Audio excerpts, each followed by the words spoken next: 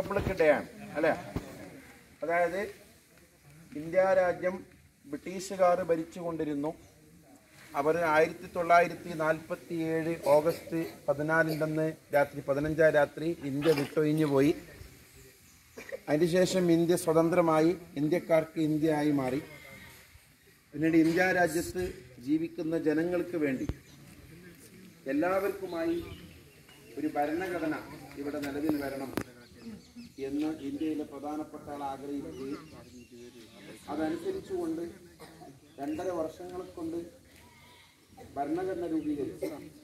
Doctor B R Ambedkar ചെയർമാനായുള്ള draft drafting കമ്മിറ്റിയുടെ നേതൃത്വത്തിൽ ലോകത്തിലുള്ള ഒരുപാട് രാഷ്ട്രങ്ങളുടെ ഭരണഘടനകൾ കൊണ്ടുവന്ന് ആ ഭരണഘടനകൾ രൂപീകരിച്ച് അങ്ങനെ ആയിരത്തി തൊള്ളായിരത്തി അയിമ്പത് ജനുവരി ഇരുപത്തിയാറിന്റെന്ന് ഇന്ത്യ രാജ്യത്തേക്ക് ഒരു ഭരണഘടന നിലവിൽ വന്ന ഇന്ത്യ ഒരു റിപ്പബ്ലിക്കായി.